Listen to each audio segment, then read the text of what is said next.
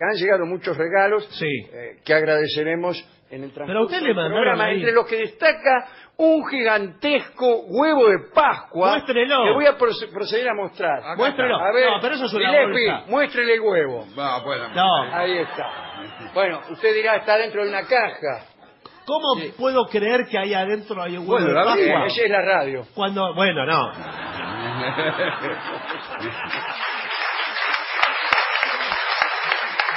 En ese tipo de creencias se basa la radio. No tiene forma oval. Se está No. abriendo el paquete, le decimos a los oyentes. Sí, por favor. Está, Acabo de renunciar. ¿Qué tiene una, eh, una Estaba caja? buscando en realidad una carta, Sí. según me anunciaron en la puerta. deberíamos sacar primero la bolsa Aquí- de aquí la encontré. Bueno, muy bien. Aquí la- un momento. Se le pegó ahí. Vamos a ver la carta. son Ahí está la 20 carta, La el páginas. número. carta es muy pequeña Sí, el sobre y dice así. Querido Víctor Hugo Morales, No.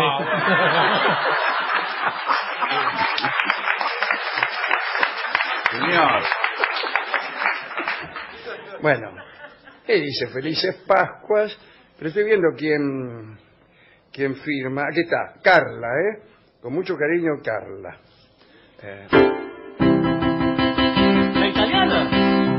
después vamos a cantar Carla la italiana. Ahora dígame, semejante huevo. Sí. Sí, doctor. No. Por favor. Qué fantástico. El domingo. Hay huevos Esto es para compartir de con este amigos. tamaño. Yo nunca tuve Sí. eh, la gracia de que me regalaran un huevo semejante. Pero me han dicho que dentro de esos huevos hay otros huevos. Como una, como una mamucha. Como una mamusca. Sí. Un huevecillo. Y generalmente adentro tiene sorpresas. Eso es lo más lindo para los niños. Puede haber muñequitos, Sí. puede haber eh, pitos, Sí. eh, puede haber.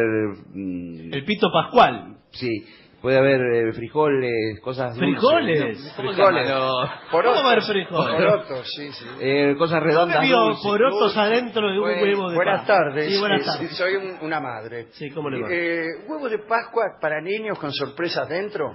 Sí, Pero todos. No las cosas que decía el No, señor. No, no. Que eran pocas y malas. No, a veces Algo, le- algo que al niño lo llene, no sé de qué. No, a veces no entiende de, de qué es. el- A veces trae un patrullero adentro. ¡Ay, qué lindo! Eh, ¿Un patrullero de juguete o, o un, un agente del orden? Pero uno nunca puede saber lo que puede pasar dentro de un huevo. No, un patrullero de juguete. de Rompe el esto. huevo y dice documento, dice desde adentro. un patrullero de estos que no se le mueve la rueda. Son cosas rústicas. Ah, no eh, son juguetes rústicos. Sí, Qué bueno sí. una juguetería. Juguetería rústica. Sí. Todas cosas que andan feo. Y que no están bien dibujadas. No, claro. Y como dice usted, con ruedas fijas. Fijas, no le andan, los autos no le Sí, andan. sí, los- no andan, son Hay que empujarlos. sí, deceptivos. Sí. El niño hacia el sí. Peor es cuando le toca, a mí me ha tocado como sorpresa Sí. un peine. Un peine. ¿Usado? Peines- No, No. no. Pues lo No lo sé. peor que puede encontrar Sí. uno dentro de un huevo Sí. son pelos. En las antiguas eh, atracciones del cotillón, entre Sí. las chucherías que Ah, no- sí, venía un venían peinecito. un peinecito. Nunca había un peine. ¿Estás seguro que era un peine? Segurísimo. Sí, Sí, nosotros que sí. Peinecito Sí, de A ver, que sí, la gente vivió en mi mismo siglo. Hay gente que se está peinando incluso con los peines encontrados dentro de los huevos de Pascua. Era muy pequeño, muy, che- para una Eh, ceja. Pequeño e inútil. Sí, Y un, peine, un peine pequeño suele no deslizarse. Incluso son tan pequeños que hasta el pelo es más grueso que el espacio interdental. Claro. sí. Eso venía, o un camión cisterna también a veces Sí. le aparecía, ¿no? Que era, que uno bueno, podía entonces decir que era... estamos contestes en que las cosas son fatalmente una porquería. Sí. Las que hay dentro del huevo. de Pero de los pequeños huevos estamos hablando, pero eso, eso, A no. estos juegos grandes prometen esto- esto- eh, un contenido. Sí. Por ahí hasta viendo un celular adentro, Sí. algo. Podría tener un celular. No tiene un peine, pero quizás un secador de pelo le, le Claro, podría ser. Nunca Al- viene mal. Sí, Nunca algo- viene mal. Y, ¿Usted no lo, no lo mueve antes para adivinar? Sí, pero no mucho, porque Claro. podría romperse el huevo y de- diseminarse las sorpresas Sí. por todo el, el- No es una por piñata. la vereda, y No- uno en no cuatro patas piñata. juntando pitos. No. Lo ideal sería, lo, lo- lo más aconsejable, con un, con un cuchillo, porque el huevo son dos pe- pega- eh, mitades pegadas. Dos, dos medios Sí, huevos. sí. Bueno, ¿ok? ¿Me van siguiendo? A ver, espere que anoto. Primero hacen una mitad, hacen la ¿Así otra lo igual. fabrican, doctor? Sí, hacen dos mitades y después con una especie de pegamento algo Claro. lo pegan en el medio. ¿No hay huevo macizo de No, que todo, no. ¿Y todo cómo lo chocolate? Ah, huevo, Mati, es horrible. Así duro. ¿Quién es? No, no, señor. Con un cuchillo muy eh, centrado podemos cortarlo por la mitad, porque la otra es romperlo con la mano. No, eso es de... ¿No se rompe? Sí, se rompe, pero ¿cómo? Eh, Por ejemplo, eh, tirarlo al piso. No, Sí, sí, sí. señor. No, y después juntar todo. No, es mejor, como dice el señor, con una sierrita de calar sandia. Claro, de a poquito. Calar también el huevo, hacer un pequeño agujero y espiar. Incluso Documentos. cuando, cuando usted tiene un... A mí me dijeron que algunos comerciantes que venden huevo de Pascua los espían y se agarran para ellos los mejo- las mejores sorpresas. No, ¿cómo los van a sí, cómo no, señor? sí, hacen así. Mire, usted que habló de los comerciantes, la verdad que hay que decirlo, hay preocupación entre los comerciantes de huevo de Pascua Ajá, ¿por qué? por esta especie de ola de calor que afecta a Buenos Aires, Ah, se le derriten los huevos. que nos está Sí, derritiendo sí. los huevos, señor. No pueden permanecer los huevos exhibidos que ya presentan Claro. un aspecto... eh, Bueno, hay que- sí, iba a decir... eh, Yo creo que fatigado. hay que mirarlo. Si el color no es parejo y tiene como distintas manchas. Y... En radio los gestos no son necesarios. señora. Bueno. Si le quieren eh, vender un huevo que, como Sí, dice el que señor... tiene manchas, eh, que no es de todo el mismo el color. Ah, ¿sabe qué pasó? Que ese huevo estuvo al sol Claro, Y- de la vidriera. y después fue a la sombra. Entonces, ¿vio el huevo al sol cómo se pone? Sí, dígamelo a mí. Entonces, Por favor. quedan marcas que usted son indelebles, no las puede Claro, sacar. y después el comerciante inescrupuloso trata de disimularla, no sé de qué forma. ¿no? Ahora, bueno, no todo es huevo, ¿no?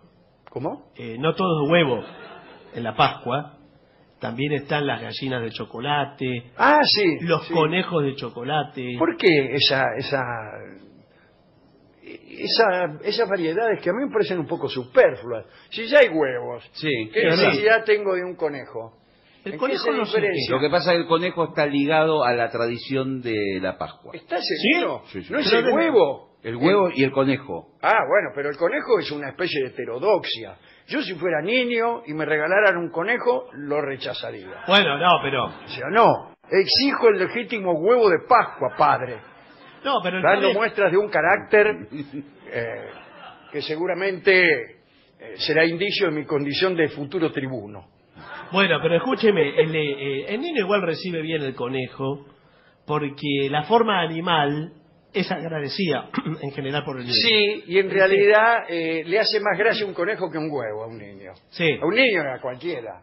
Sí, bueno, para no hablar de la gallina, pero la gallina sí tiene un nexo con el huevo. Claro. la gallina es, pone los huevos. El conejo no tiene nada que ver ahí. Pero si usted dijo que tiene que ver con la tradición, Pero tiene que por otra cosa, porque el conejo significa prosperidad. ¿desde cuándo significa prosperidad un Desde conejo? ahora. Conejo, la Nunca vida. lo escuché. La vida, el conejo se reproduce un montón. Claro. y ahí- Y ahí viene la prosperidad. Necesi- estamos necesita- necesitados de cosas, necesitados de cosas que significan prosperidad. Bueno, pero hubiera buscado Este, un poco estamos más. muy interesados en el Congreso Nacional Sí. en símbolos de prosperidad. El Por ejemplo, conejo. el conejo. No, pero no, no, eso, eso. Entonces nombramos al conejo y la gente ya tiene una idea de prosperidad que de otra manera es Usted imposible mira. inculcar. No, pero discúlpeme. Usted mira un conejo, Sí. lo vuelve a mirar y hay tres conejos. bueno, Lo vuelve a mirar y hay doce. pero eso no es ser próspero, sino ser dócil a la reproducción, para no decir otra palabra. Mantenga la prudencia. ¿Cómo Uno, uno, dos, tres, cinco, ocho, trece. Es la progresión de Fibonacci. Dicen que así van creciendo los conejos. Bueno, pero de O ahí sea a- que si usted se da vuelta dos años, eh, después hay tantos conejos como puntos tiene el universo. sí. Sí, algo así. Ahora, si eh, el conejo no tiene nada que ver con la Pascua. Tampoco la prosperidad tiene nada que ver con el, eh, con el conejo ni con la Pascua misma. Ni, ni con nada en estos tiempos que corren. Ya no es símbolo de nada. Ni el símbolo ni la cosa. No. Eh, hablando de la cosa, Sí. eh, rosca de Pascua, ¿tiene? Sí, por supuesto. Muy señor. bien. Sí, bueno. Explíqueme en qué se diferencia una rosca de Pascua de una rosca de Reyes. Son muy distintas, significan distintas cosas, ¿eh? Bueno, acá le puede decir mi socio. Sí, eh, por eso él hace la rosca de Pascua y yo hago la rosca de Reyes. Ah, ¿qué diferencia hay entre una y otra? El huevo. No me diga eh, que la de Reyes carece de huevo, etcétera, porque no lo creo. No, no, Y pero basta con verlo. Y basta con verlo, yo no- a mí no me consta la ausencia de huevo en la rosca de Reyes. Y pero no la, no la fue a ver. eh, yo le puedo decir. La fui a ver, pero se me mezclan con la Pascua anterior. No, bueno. Es decir, no, no, no está tampoco mi cerebro abocado a la tarea de registrar en mi memoria roscas de Reyes y de Pascua. ¿Quieres saber cuál es la verdad? No, ¿Cuál es la diferencia? la misma, ¿no? Es la misma rosca. Es la misma rosca, incluso la que me querían vender y deseché por vieja en Reyes, me la van a encajar ahora como nueva en Pascua. Y bueno. Bueno, la rosca de Reyes o de Pascua eh, también se la venden trenzada, ¿vio? La misma... Está loco usted. Sí, ¿Cómo trenzar? se la vende como un budín trenzada. ¿No hay roscas en forma de cadena? Miren qué buena idea para vender muchas roscas de Reyes. Claro, Hacer como cadenas. cada Sí, una es pero- un eslabón. Claro, cada uno un eslabón. Eh, pero ¿cuántas roscas de...? Infinitas. No, bueno, no, infinitas Tantas no. como usted quiera, señora. Buenas Pero no, tardes. no, no comemos tanta rosca. ¿Cómo se come este Bueno, diez- esto sí conviene para familias muy numerosas o batallones de infantería Ah, Bueno, sí. o cosas así, señora. Sí, de todos modos, insisto con la simbología, una cadena eh, tampoco tiene que ver con la Pascua. Bueno, una rosca La- tampoco. la- el amor también es una cadena, Sí, si bien se mira. una dulce cadena. Ah, gusta. Sí, en el caso de las de Pascua. Sí.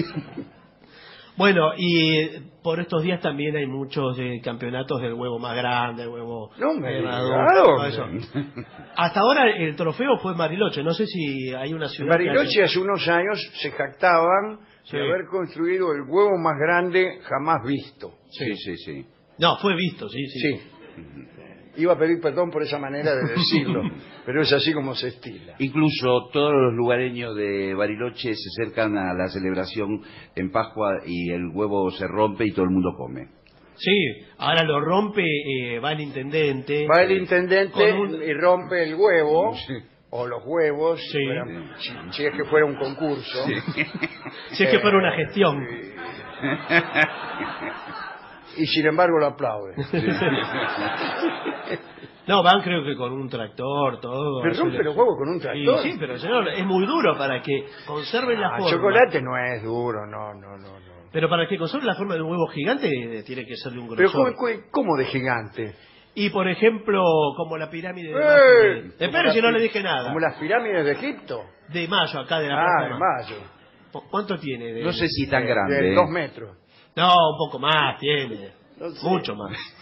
Parece que tiene el tamaño de, de una, de una pelota grande. No, señor, si no, no sería el huevo, no vendrían fotógrafos de hasta de Neuquén a sacarle fotos. Sí. Bueno, lo mismo pasó Y, con eh, el... van y se sacan los turistas Sí. japoneses, a- eh, se agarran así y se sacan. Huevo. No, además le dice, ponete más atrás que salga entero el huevo. Claro, y que eh, le dicen, eh, Yoshiro, Sí, que se vea que sos una persona. claro. claro. Porque si no, el huevo pierde referencia. Si usted saca el huevo solo, se lo digo como Sí. fotógrafo, el huevo solo, No se sabe el tamaño que es. No. no. hay, no hay ninguna referencia. Puede ser un huevo de 50 centímetros, lo Claro, mismo. En cambio, ya cuando hay un japonés al lado, Sí. que Sí.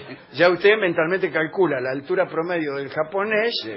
y dice, este huevo Y bueno, sí, puede continuar. es de los más grandes. Le iba a contar que otra celebración muy importante es eh, el salame más largo que se hace en Tandil. ¿Para Pascua? Para Pascua, el salame de Pascua, sí. ¿De cuándo, de cuándo- Ah, salame de Pascua? me parece que voy a ir a Tandil. El salame de vigilia, ¿lo probaron?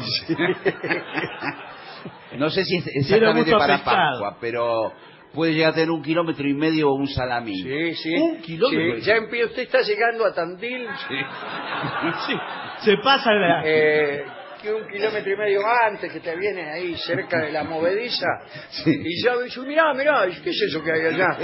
El- al costado de la ruta sobre la banquina. Dice, es el principio del salame. Y hay gente que se saca ahí, saludando, los Boy Scouts. Lo tienen que transportar entre muchas personas.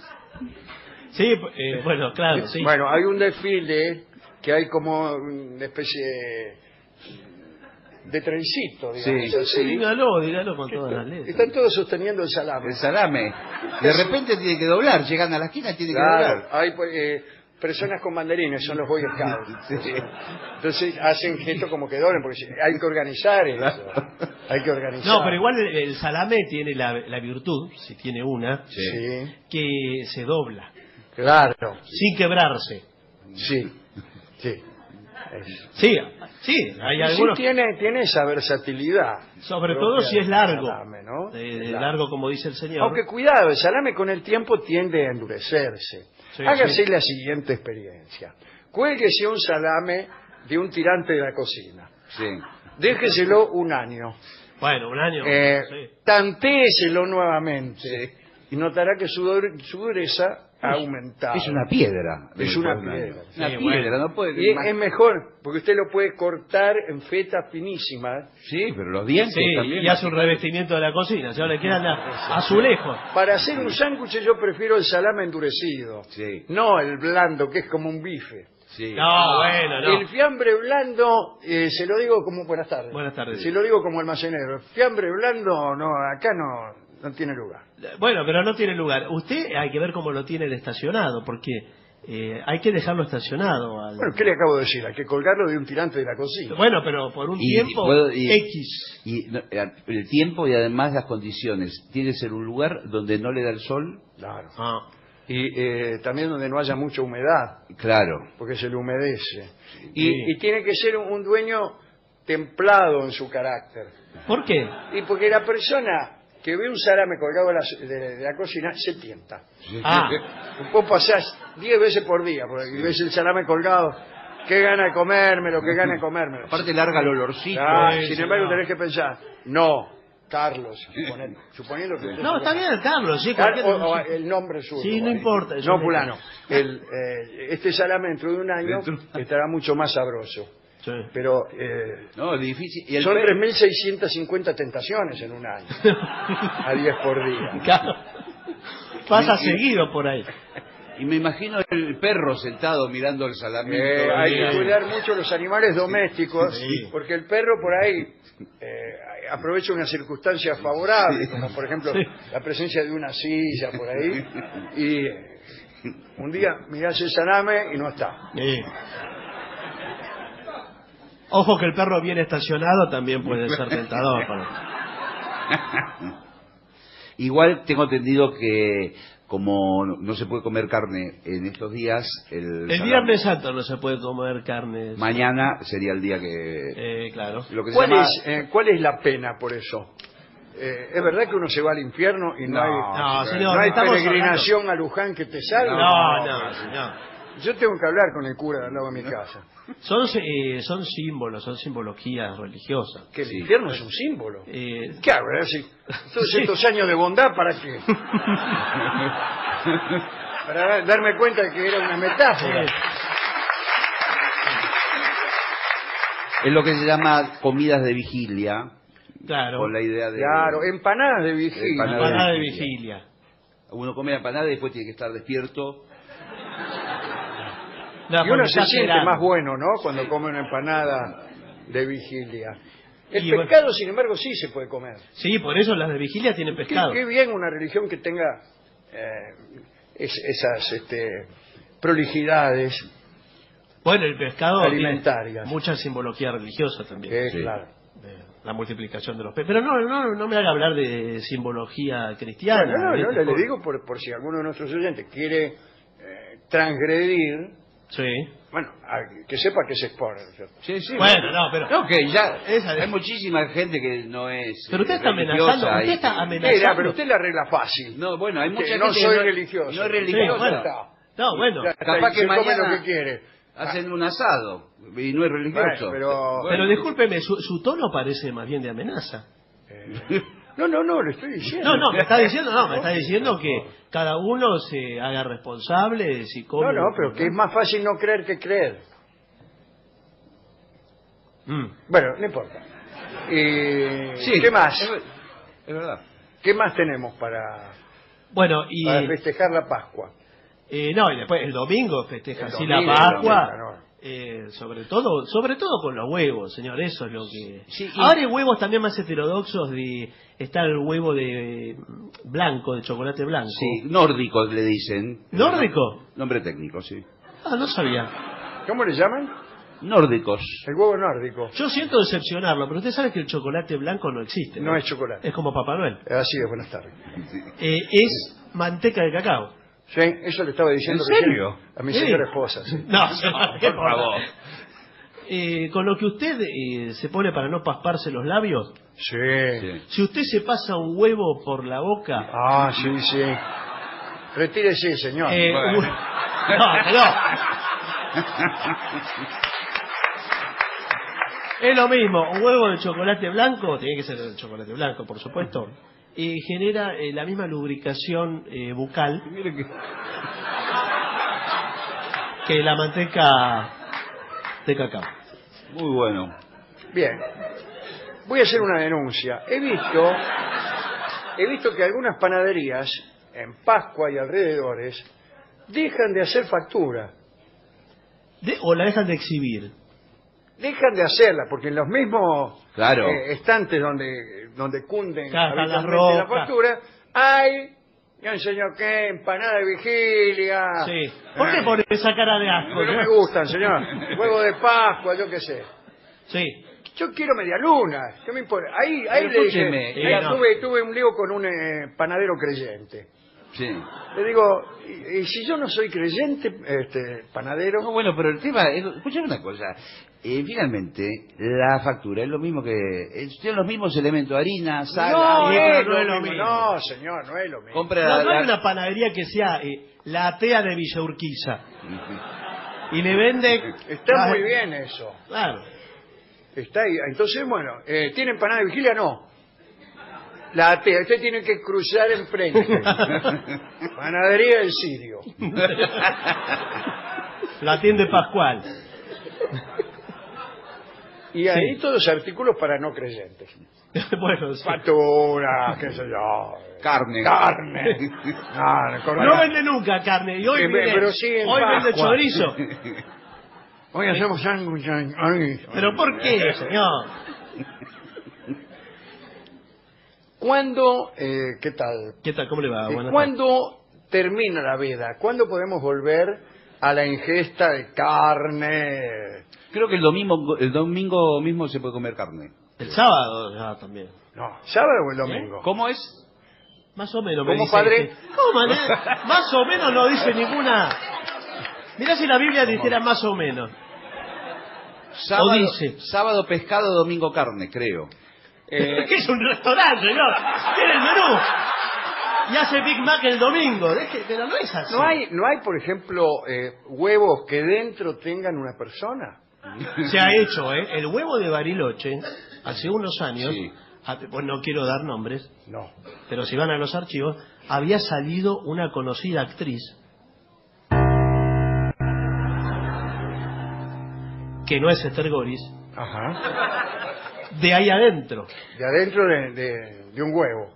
Sí, del huevo más grande de. Eso proviene de una vieja y desagradable com- costumbre machista, que era la de eh, poner señoritas dentro de las tortas. Claro. Sí. como si una señorita fuera un adorno, de, como una matraca, ¿no?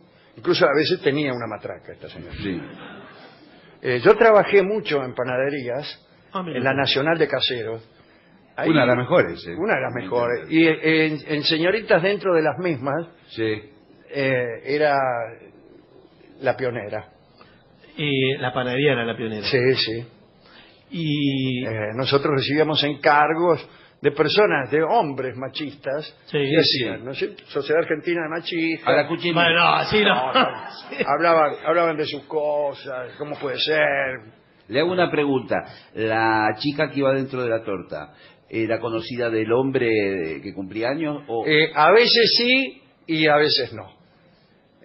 Raro, Cuando le querían dar una sorpresa, Sí. por ahí ponían una chica que él pretendía de alguna manera, Ah, la tenía que o que convencer. tenía una relación previa con él, no sé cómo es. Ahora, Sí. cuando no podían conseguir esa información, Sí. ponían una cualquiera que calculaban que le iba a gustar al tipo. Pero, Eh, y nosotros teníamos unas chicas que, eh, bueno, cumplían con eso. Ah, eran fijas como un trabajo que Sí, estaba ahí. trabajo. ¿Y cuánto tiempo antes la meten adentro? ¿Cuántas qué? ¿Cuánto tiempo antes? Bueno, según el día. ¿Cómo según ¿Cómo? el día? Si, no? si era el cumpleaños del tipo, si caía Sí. domingo. En general tratábamos sí. de que fuera eh, que la persona pasara el menor tiempo posible. Y sí, desde luego, si no está Tratábamos de nada, de unos minutos. de optimizar. Al principio, incluso cuando teníamos no tanto trabajo, eh, eran unos minutos antes.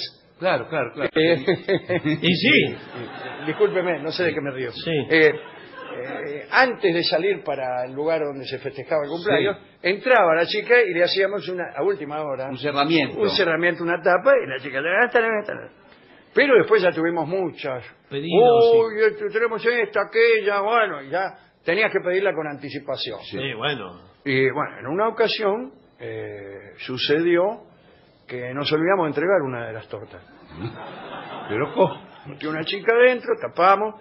Ella, ya sabía ella que tenía que esperar algo así como 24 horas. Pero es una barbaridad. Adentro, señor, ya 24 sabía, horas, claro. la Ella torta. ya le dije, mirá que estamos atrasados en el buen fenómeno. Y ella sabía que estando dentro de una torta, ¿sabes qué? Eh, ¿Qué de? perdés la noción del tiempo. Bueno, Sí, sí, bueno. eh, te parece que, que pasaron Oh, es 10 días horrible. y a lo mejor son 5 minutos. Horrible. Y ella sintió, sintió que, que habían pasado 10 días. Bueno, pero eran cinco y minutos. se aseguró que eran, no, eran 10 días. Ah, bueno, señor, entonces... es una barbaridad. Una claustrofobia y adentro, Sí. te lo juro. Hasta que, bueno, la abrimos finalmente la Sí. torta y salió. no, qué sé yo, alegría, alegría. y- Pero, ah, bueno. pero, ¿cómo? pero encima cumplió con su deber hasta en esa... Sí, sí, sí. Qué abnegada. Diga, diga que eh, era torta. Eh, Y ¿Qué después cosa? comiendo la torta por dentro. Claro. Y pues 10 días hay que aguantar. Pero y sí. era borracha. La torta. La torta, sí. Bueno, por favor. Bueno, pero 10 días... Entonces sobrevivió bastante bien, ¿no? bien. Bastante bien, no, Pero sobrevivió. bueno, a partir de ahí, eh, el dueño dijo, muchachos, se terminó este negocio. Sí, bueno. Sí, sí, un día vamos a tener un disgusto. Sí, sí, ¿qué le parece? Lo tuvo ella, señor. Sí, sí, sí. Incluso este muchacho quedó medio trastornado, el dueño de la panadería. Sí. Oh, cada vez que cortan una torta, se esconde. Sí, sí. A ver quién sale. A ver quién sale. Sí, sí.